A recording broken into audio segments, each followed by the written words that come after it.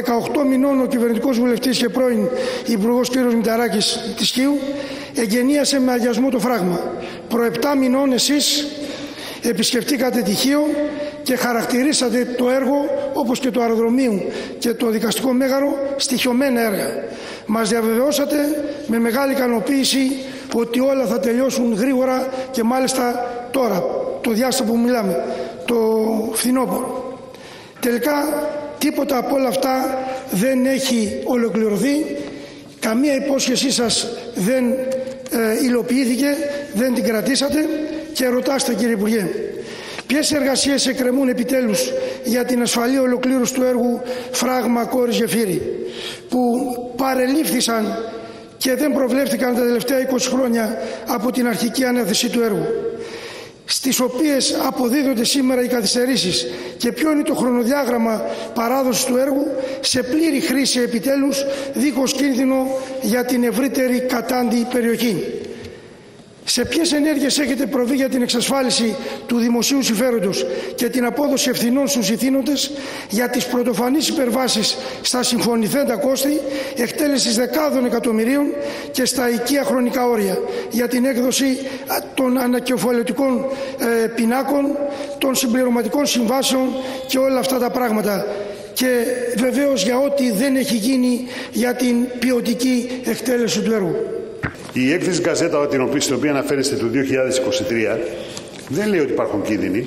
Λέει ότι έχει παρακολουθήσει με τις πιθανές αβεβαιότητες του σφάλματος σε ό,τι αφορούν τη σεισμική διέγερση τη μηχανική συμπεριφορά του υλικού του σκληρού επιχώματος και την αποδοτικότητα του συστήματος αποστράγγισης και βρήκε ότι η πλήρωση του φράγματος είναι εφικτή, απλώς πρέπει να υπάρξουν κατά τη διάρκεια αυτής της πλήρωσης παρατηρήσεις οι οποίες να ε, καταλήγουν στο ποιο είναι η πιθανή οριζόντια μετακίνηση στη φάση αυτή. Ε, τώρα, προφανώς ήρθα και είπα ότι θα ασχοληθούμε με αυτό το έργο και θα προχωρήσει αυτό το έργο και όντως με αυτές τις ημέρες, δηλαδή στο τέλος του φθινοπόρου, βρισκόμαστε στη φάση όπου με το ΙΠΑΤ έχουμε συμφωνήσει στη χρηματοδότηση του υπολείπου του έργου. Θα γίνει το τεχνικό δελτίο, θα υποβληθεί τώρα το τεχνικό δελτίο, ώστε να μπορέσει να προχωρήσει η χρηματοδότηση των υπολοιπωμένων ε, εργασιών, οι οποίες μπορούν να οδηγήσουν στην πλήρωση του φράγματος. Εκείνο το οποίο θα έχει ιδιαίτερη σημασία είναι το εξής. Πρέπει να βρεθούν πόροι ώστε να κατασκευαστούν τα αντιπλημμυρικά έργα στο κατάντι τμήμα του φράγματος, αυτό που αφορά στο ρέμα το οποίο ε, περνάει και περιμετρικά και μέσα σε κάποια σημεία από την ε, πόλη της Χίου. Για να γίνει αυτό θα χρειαστεί ένα ποσό της τάξης του 1,5 εκατομμυρίου. Έχουμε απευθυνθεί στον κύριο Μουτζούρη στην περιφέρεια. Ο κύριος Μουτζούρης πραγματικά έχει δείξει ένα εξαιρετικό ενδιαφέρον για την κατασκευή αυτού του έργου όπως και για τα υπόλοιπα έργα της Χίου. Και θα θέλαμε στην προσπάθεια του να βρεθούν πόροι από το ΠΕΠ για να ολοκληρωθεί και αυτό το υπολοιπόμενο τμήμα του έργου γιατί από το Υπουργείο Αγροτικής Ανάπτυξης δεν μπορεί να κατασκευαστεί ούτε το Υπουργείο το δικό μας εκτελεί έργα αντιπλημμυρικά, είναι έργα τα οποία εκτελούνται στο πλαίσιο των περιφερειών. Θα θέλαμε και τη δική σας συνδρομή. Γιατί όπως ξαναείπα και στην αρχή, νομίζω ότι αυτή η εκ του σύνεγγυ παρακολούθηση των έργων της ΧΙΟ από τους βουλευτές ε, της ΧΙΟ είναι ένα σημάδι οριμότητας και της τοπικής κοινωνίας. Ευχαριστώ. Ήρθατε το Μάρτι, έχουμε τέλος του χρόνου και δεν, το, το έργο εκεί η εικόνα του είναι ένας χιτά. Εκεί έχει καταντήσει. Δεύτερον, μας είπατε ως δικαιολογία και δεύτερον δεν απαντήσατε τελικά ευθύνες. Από τα 15 εκατομμύρια που έχουν πληρωθεί 23 και θα πάνε με άλλα 3-4 αν θα γίνει ποτέ. Στα 30 θα λογοδοτήσει κανείς. Έχετε ευθύνη, έχετε συνέστηση. Αντιλαμβάνεστε ότι η Χίος ο περάντης της χώρας μας στο Αιγαίο τη γραμμή μαζινό η εθνική. Πεθαίνει χωρίς νερό. Δεν μπορεί να αναπτυχθεί. Καίγονται τα πάντα και εσείς μας λέτε τι γινόταν το 2012 και το 2013. Είπατε στοιχείο σαν δικαιολογία στη τηλεοράσεις. Είναι καταγεγραμμένα και θα τα καταθέσω και στα πρακτικά, τα δημοσιεύματα. Ότι νέες διατάξεις από ένα φράγμα που έπεσε στη Ρωσία μας αναγκάζουν τώρα να σκεφτούμε αυτές τις κατάντι βελτιώσεις για όταν είναι πλημμυρίσει το έργο και τα λοιπά το φράγμα να φύγουν. Δεν θέλω να πω τη λέξη ότι η κυβέρνηση λέει ψέματα, αλλά ανακρίβειες. Έχω εδώ αποφάσεις του 2014 τις υπουργικές, τις οδηγίες της Ευρωπαϊκής Ένωσης που προβλέπουν αυτά τα οποία επικαλείστε εσείς ως καινούρια. Γιατί δεν τα λάβατε υπόψη από το 2019 που είστε κυβέρνηση; Μόνο ερχόμαστε στο 2025 και βγει μια απόφαση στο Εθνικό Πρόγραμμα Ανάπτυξης και να τελειώσει πότε, αν θα τελειώσει.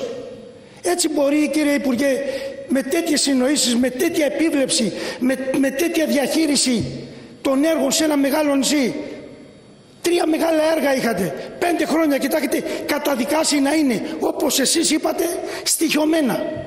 Και δεν έχει κανένας ευθύνη. Δεν αισθάνεσαι εσείς ευθύνη και μας λέτε τώρα ότι προκυρήσετε.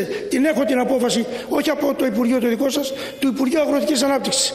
Εντάσσετε τώρα στο ΕΠΑ που θα αρχίσει πότε και θα τελειώσει πότε. Δηλαδή τέλος της δεκαετίας πάλι και βλέπουμε. Πώς θα ζήσει αυτό το νησί. Το πέμπτο νησί του Αιγαίου, της Ελλάδας, της χώρας μας. Πώς θα πάει μπροστά χωρίς νερό. Ιδιαίτερα αυτή την περίοδο που είναι η, κρίση. Το μεγαλύτερο πράγμα που χρειάζεται σήμερα η ανθρωπότητα του νερού. Και εμείς πετάμε 30 εκατομμύρια και γράφοντας στα πρακτικά ό,τι λέμε. Και εγώ και εσείς. Μακάρι να τελειώσει το έργο. Αλλά οι πληροφορίες μας είναι ότι κανένας σε διευθυντική θέση στο Υπουργείο σας δεν υπογράφει για τίποτα. Εδώ είμαστε και μακάρι να διαψευστούμε. Είναι στοιχειωμένα τα έργα της Χίου.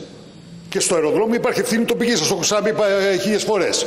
Η τοπική κοινωνία δεν έχει βοηθήσει. Ποια τοπική κοινωνία, δηλαδή η τοπική επιχειρηματικότητα. Διότι όταν υπάρχει ένα μονοπόλιο εκεί το οποίο θέλει να διατηρήσει τη θέση του, είναι προφανές ότι δεν θα βοηθήσει να εξελιχθεί το αεροδρόμιο και δεν εξελίχθηκε. Το ίδιο, επιτρέψτε μου, επιτρέψτε μου τώρα, δεν έχω απαντήσει σε αυτά και τα ξέρω ότι έχω απαντήσει, έτσι, και τα έχω αντιμετωπίσει. Γιατί. Α αφήσουμε αυτό το θέμα. Πάμε τώρα στο δικαστικό μέγαρο. Το δικαστικό μέγαρο θα δείτε ότι θα προχωρήσει με χίλια βάσανα θα προχωρήσει. Γιατί και αυτό ήταν μια μελέτη η οποία είχε προβλήματα. Θα προχωρήσει. Προχωράει. Το έχουμε δρομολογήσει. Προφανώς αυτά που κάνουμε δεν μπορούμε να βγούμε να τα πούμε δημόσια. Το τι κάνει η διευθύνουσα υπηρεσία, ούτε είναι δουλειά της Βουλής να πηγαίνουν διευθύνουσες υπηρεσίες και να λένε Ξέρετε, κάνουμε το ένα, ξέρουμε τι κάνουμε το άλλο. Το ίδιο συμβαίνει για το κόρης Γεφύρι. Στο κόρης Γεφύρι σας λέω ότι το θέμα καταρχάς ορίμασε τον Φεβρουάριο του 2023 τον Φεβρουάριο του 2023. Τότε ήρθε η τελική έκθεση του καθηγητή Γκαζέτα. Μέχρι τότε ήταν ένα φράγμα που κανένας δεν ήξερε αν έχει την αστατική αντοχή να πληρωθεί. Κανένας. Εγώ δεν σας είπα ποτέ ότι στην ε, Ρωσία υπήρξε οποιοδήποτε πρόβλημα. Είπα ότι η διοικητική αρχή φραγμάτων, επειδή είναι ένα οργανισμός φραγμάτων, για να διοδοτήσει αυτό το φράγμα, έχει συγκεκριμένες προποθέσει, οι οποίες έχουν τεθεί από τον κανονισμό της, ε, των φραγμάτων, ο οποίος ήρθε σε εφαρμογή των ευρωπαϊκών οδηγιών. Έχετε δίκιο σε αυτό, δεν ε, λέμε κάτι διαφορετικό, αυτό είπα λοιπόν. Αυτό έβγαλε καινούργια έργα, αυτά έπρεπε να χρηματοδοτηθούν.